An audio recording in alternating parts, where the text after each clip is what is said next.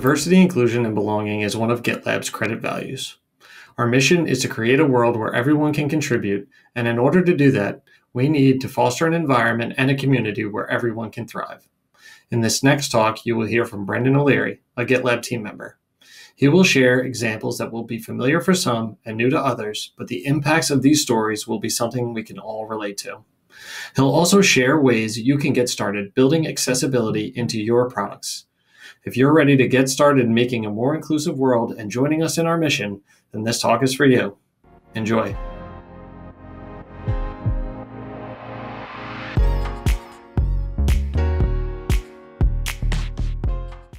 Thank you for being here today. If you're here because you thought the title was intriguing, great. If you're one of those who were a little apprehensive about the title but wanted to give it a chance, well, thank you too. Despite the title, I won't be berating everyone today for being lazy. Lazy isn't even the best word for it. There's probably a perfect German word for what I mean, but I don't speak German. Side note if you do speak German and there is a word for this, please let me know. What I mean is, there are a lot of hard problems in software, in scaling apps, in working together with other developers, in shipping code to production. I get it. I've been on lots of sides of that equation. At the same time, though, there are many, many, many solved problems. Unless you have very advanced use cases, most of us are not writing machine code, you know, creating our own processors or doing low-level memory management. Those are solved problems that we take for granted. Another solved problem is how to build accessible and inclusive software. But even though there are solutions, those are much le- less likely to be adopted than, say, the latest JavaScript framework. And the data shows it's not getting better. In 2015, there were 57 digital accessibility lawsuits in the US. In 2018, there were close to 3,000. And that's a little bit about what I want to talk about today. I want to talk about a few stories around accessibility and inclusion and how many are representative of solved problems. And in the end, I hope I can encourage you to reevaluate and understand your own designs and software and build a better world where everyone can contribute. I'll introduce myself a little later, but I want to start with a personal story about my name, specifically my last name. My last name is O'Leary. It stands for son of Leary from back in the time of feudal lords in Ireland. And if there's still some lordship that I'm due back in Ireland. I'm completely unaware of it, and my family's been in the United States for quite a long time. It's fun to spell to people over the phone. Capital O, apostrophe, capital L, then lowercase e a r y. And that's just with humans. Anyone who's been programming for a while, has ever done anything with a SQL like database, or has ever read XKCD 327 about poor little Bobby Tables knows that it's a problem for computers too. That apostrophe, or single quotation mark, or single curly quotation mark, it goes by many names and many different Unicode characters, actually. It can cause a real problem for folks using databases. Or even my favorite version when you want to make rendering safe for HTML and we get yeah, that's simultaneously my favorite and least favorite version of my last name. And I get it, I really do. SQL injections are scary. Someone putting JavaScript into an input and getting it to run on someone else's computer, also very scary. But there are ways to handle this much better than many websites do today. The typical response is to do some client side evaluation and just reject things we don't like. But that's also the lazy way. There are a lot of name variations out there, and programmers believe a lot of falsehoods about people's names. Instead of working to understand the differences and try their best to account for them, they restrict name fields to fit in the box that they've decided is acceptable. But there's a serious problem with that. It can literally invalidate a person's personhood, especially depending on the specific warning given, which often is that my last name is actually invalid. Well, that's about as invalidating as you can get, I guess. And this doesn't just happen with no name or small websites. First of all, the state I live in, Maryland, I was born there. My birth certificate shows an apostrophe in O'Leary. But my license to drive a car has no apostrophe. But my passport from the US government has an apostrophe. My social security card, well, I don't actually know. I didn't look it up for this. and I've probably given you already way too much detail for anyone who wants to try and steal my identity. What even is my legal name? I'm not sure if I know the answer to that. Though, if you do steal my identity, good luck. Many major organizations with budgets in the millions and billions of dollars can't figure out how to escape an apostrophe when inserting it into their database. Getting onto the Wi Fi at a hotel with your last name and room number is a new adventure every time. Sometimes people haven't even thought of it, and my name end up, ends up being O in their system. Who knows what happens to the Leary? If you ever end up with Leary in your database for some reason, you're welcome for this troubleshooting tip you never thought of. But it's not just different forms of names with things like apostrophes. Different orders of surname and given names, and lots of other name diversity exists. It can impact people who, character wise, have a normal name, but platforms decide that their name is invalid for some other reason. There's a lot of people with two character surnames out there. Don't just put a limit on that. And when implementing your community guidelines, sometimes purely automated is not the way to go and can lead to some pretty bad experiences for folks who probably don't love attention being called out to the alternative meaning of their names. My father has given up this fight. He doesn't even try to add the apostrophe anymore to any online form. He's just accepted the world isn't made for him being somehow even more stubborn than him, I still fight and I call it out when I see it. Neither of those things should have to happen. With inclusion at the design phase, when we're building those user stories, we can prevent these type of things. And honestly, I've spent a lot of time on it in this talk because it impacts me personally, but it's really not that big of a deal. I understand it. I can get around it. I can even give up like my dad and just go about my life. But it doesn't start and end with names. Things can get much worse. For example, gender or sex on a form on your website. The lazy way is to put man, woman, other, or male, female, other. First of all, you need to learn the difference between sex and gender and collect the one you're really looking for. And here's a hint if you're not building medical software, it's probably gender. Second of all, one of my best friend's genders uh, identifies their gender as genderqueer. It can be tough to have that as a gender identity. A lot of the world doesn't get it. In fact, as a cis man, I probably don't completely understand it. But I do know that my friend isn't other, and I know my friend doesn't want to be othered by people. So, why would a website lazily make them say, I am other? It's honestly completely unacceptable. And the problem of identity is extremely pervasive. It impacts many, many people across the globe. A professor was talking with a colleague about how he couldn't get the virtual background in their, their uh, Zoom calls to work. Any guesses as to what's happening here? I bet you could guess it. The algorithm being used for face detection works great for people like me, bald white dudes but it can also literally erase black faces, deciding that either the wall or the globe in the background must have been the face. When I originally saw this, I didn't see the thread online on a computer. I saw it on Twitter's mobile app. And in reporting this problem with face detection for people of color, Colin actually found another pro- problem he hadn't thought of. Twitter, where he was sharing the problem with Zoom, had a similar problem. No matter how he uploaded the side by side comparison, Twitter would show his face and not his colleagues. Twitter was using smart cropping algorithms to try and find what is important in the picture, and it was choosing the white face over the black one as more important every time. Now, it's important to add here that Twitter saw this post, commented on it, and fixed it. And they fixed it the easy way. They disabled cropping and all that automatic fitting, fitting stuff on mobile and elsewhere. But the fact that they fixed it this way is actually very telling Getting this right, an algorithm that isn't biased based on the inputs, was so hard that not even Twitter, with its vast team of engineers and really smart people, I know some really smart people that work at Twitter, not even Twitter decided it was possible to do cropping right with an algorithm, so they just don't crop anymore. Even with this, I can hear some people saying it's not that big a deal. Some edge cases exist, people with names that don't fit into two nice little boxes of ASCII characters, etc.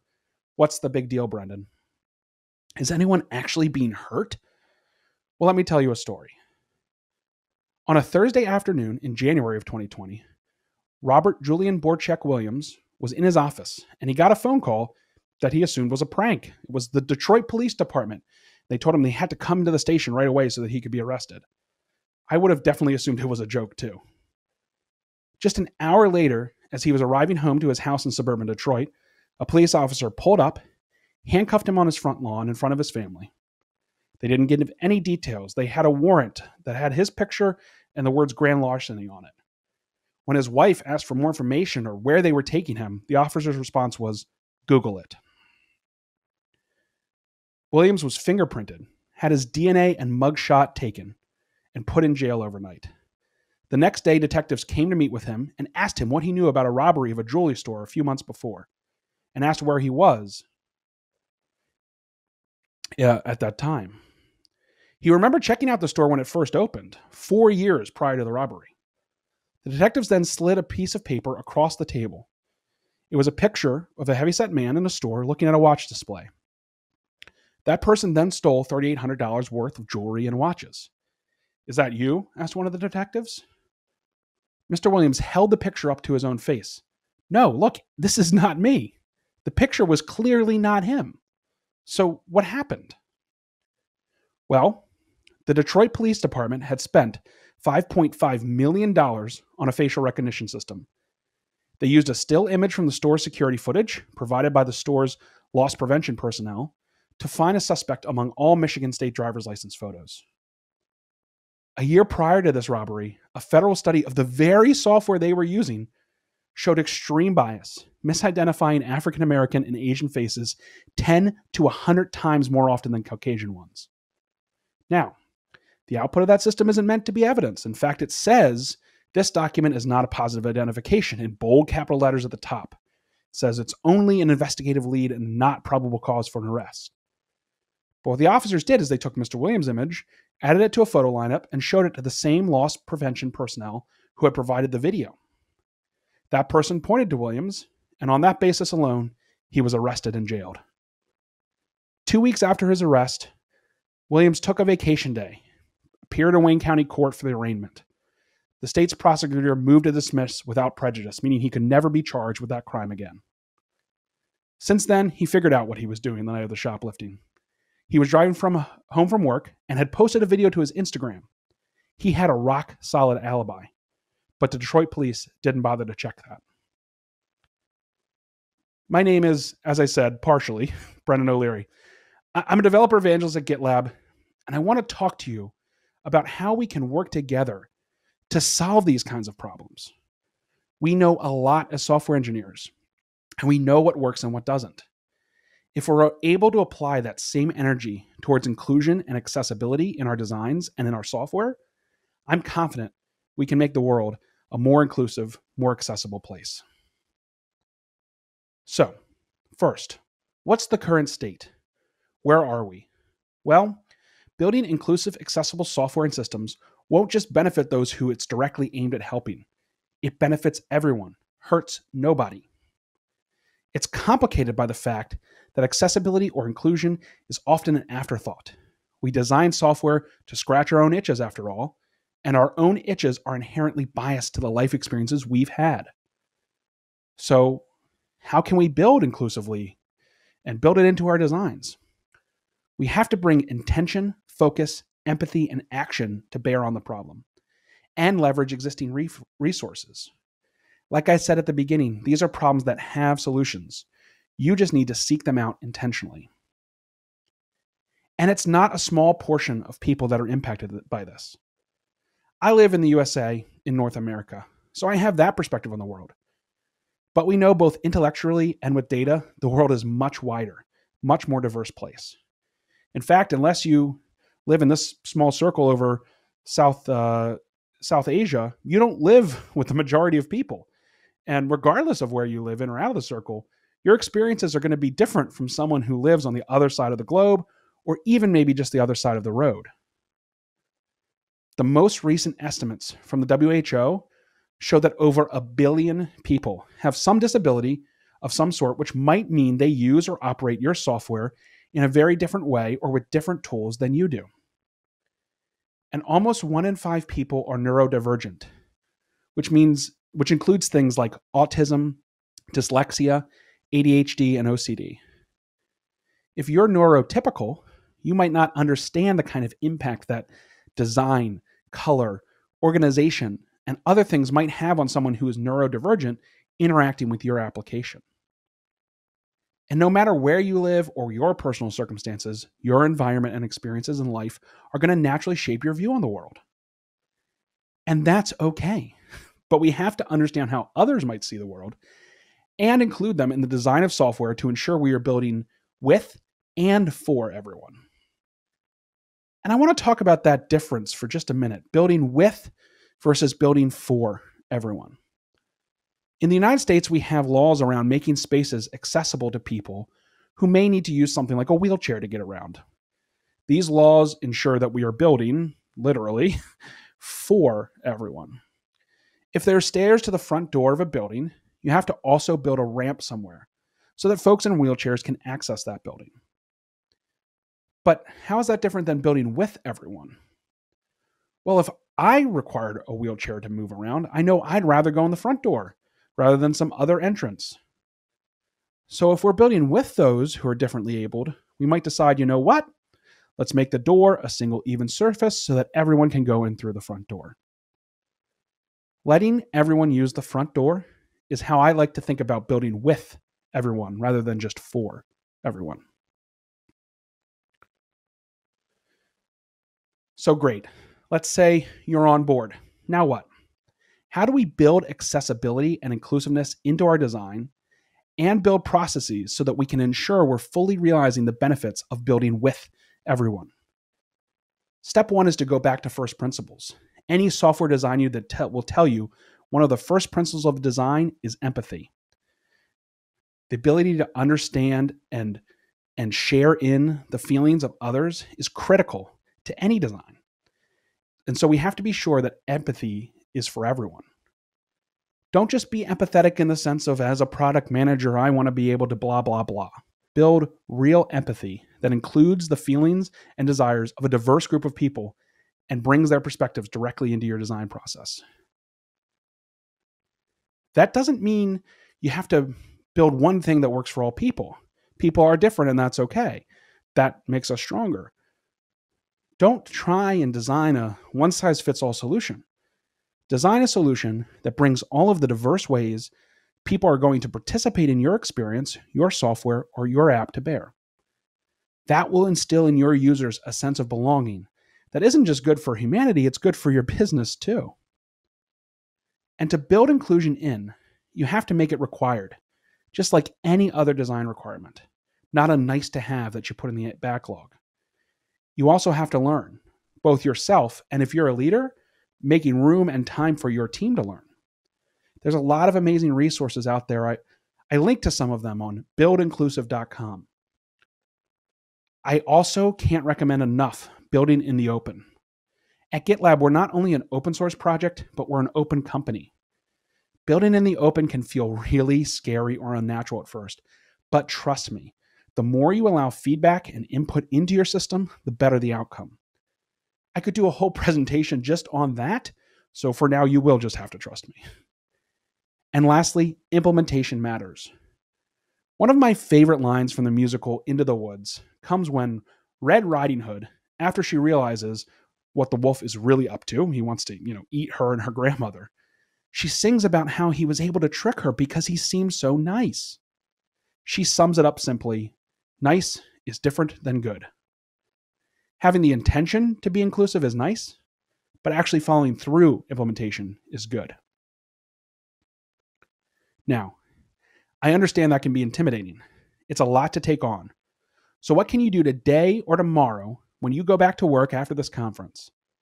Well, I want to share some tips here. There's a lot of small steps you can take to start the journey. Map out your application. Look at each small detail in a sequence of interactions. What barriers exist for different groups of people? Then flip it. See how you can make those interactions more inclusive. Find a free online course. There's Google Web Design, there's advanced courses on EDX and Udacity. If you're building for the web, you can use extensions to gauge accessibility. And remember to design with inclu- excluded and diverse communities, not for them. You can foster belonging through representation, and you can establish accountability on day one. Make the decision to require it. Oh, and if you're a GitLab user, free or otherwise, and of course, I hope you are, and you might be because you're here, you can add automated web accessibility testing to your GitLab CI CD pipeline with just six lines of YAML. Once you add these lines, you'll automatically get accessibility testing on every merge request. If you use review apps to preview your changes, you can even see over time if your app is getting more or less accessible. This is a small step you can take today to start the process of including it into your development processes. If you visit brendan.fyi slash A11Y, you'll get the, oh, sorry, A11Y docs, you'll get the full documentation for using this. Taking even some small step today can really help. Iteration over time and small changes made today will add up. We can't end racism by stopping one act of violence against a black person, an Asian person, or another person of color. And we can't stop all bias or exclusionary design from entering our designs just by focusing on the color of our buttons. But if everyone in your organization chooses to be in the group of people who try and make people feel included, and everyone in your development process takes responsibility for creating inclusive technology, we can make the world more inclusive and accessible. Thank you so much. I hope at least you got, you know, I got some of you thinking about ways to make your software more inclusive. If you have any questions, I'll be around afterwards to talk more about your thoughts, and I'd love to hear your feedback. After the conference, the best way to get in touch with me typically is Twitter. I'm at O'Leary Crew.